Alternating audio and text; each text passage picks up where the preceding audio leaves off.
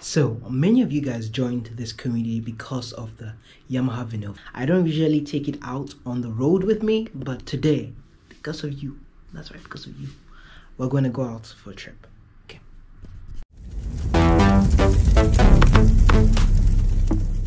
So I don't want to talk about the problems. I want to talk about the possibilities with the Yamaha Venova. I was doing some research recently and I found out that the saxophones were made in the 1840s. And over the years, there's been this progression from the types of saxophones that um, were initially invented. Um, I think it's, yeah, by saxophone? What's his name again? I don't remember. But this, I think it's Adolf Saxophone. That's his name. I think so. Um, but the types of saxophone that he invented, there were a few and I see this as an evolution into the lives of saxophones. I brought my case here with me, small handy case, and I haven't been able to use it as much for gigs because it's just in a C a C instrument really. But I'm gonna try it out today just to see if we can get some more functionality and actually to get some material for this kind of video.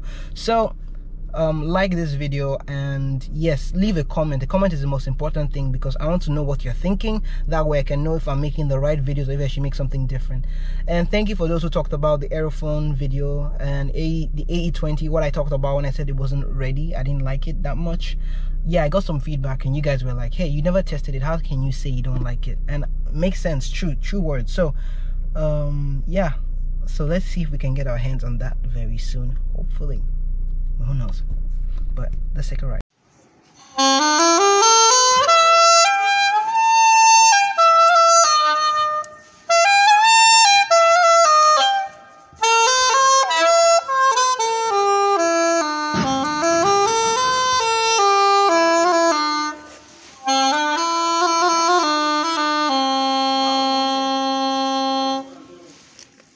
Hey everybody and we're back in the studio and yeah, so that didn't go exactly as planned. Actually, it went exactly the way I thought it was going to go. So let me explain something to you.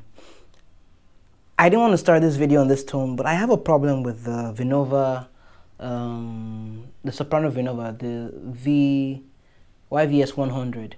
Now, I haven't tried the tenor or the or the altos yet, so I can't say it has the same issue. My issue is that I really don't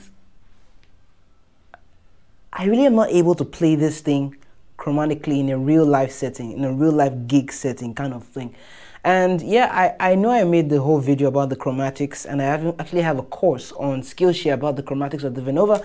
And by the way, you should check out that course on Skillshare. It talks about the chromatics of the Venova YVS 100 on there. But I don't know, it's a bit it's a bit challenging to play this chromatically. This instrument is much easier to play on C or G so let me play it on G first so you can see. This is C, D, E, F, G, concert G.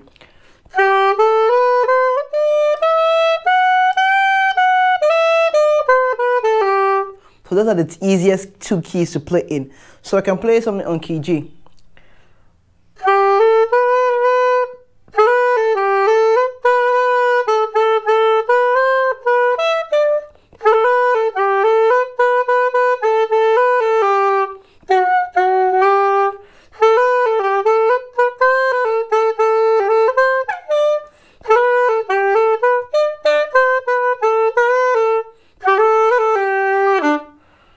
So that's all good and fair. So I think it may have to do with two things. I think the engineering for the parts has not was not yet perfected here, and I cannot say has not yet been perfected here because I need to try out the newer Venovas for me to have my complete opinion here. My guess is that this is already a fixed issue. This thing has already been fixed in the alto and the tenor Venovas, but this one maybe it's just too small that the intonation of those chromatic notes is not as precise. I mean, you can date this back to like the old generation saxophones. Like I told you about out of saxophone and how he did his um, thing at the beginning, and then the saxophones created, you know, are not really in tune, but some people could play some marvelous pieces like that. I think this is like that too, because I think that some people can create some wonderful pieces with this guy it just takes a amount of work. I think that's the second thing. It takes some more practice, which I haven't given it as much of as I should. So, yeah. So, can this thing play chromatically? The answer is yes. Is it easy to play chromatically? The answer is no. So, yeah, I'm going to do some more working around with it. Hopefully, we can get some stuff done.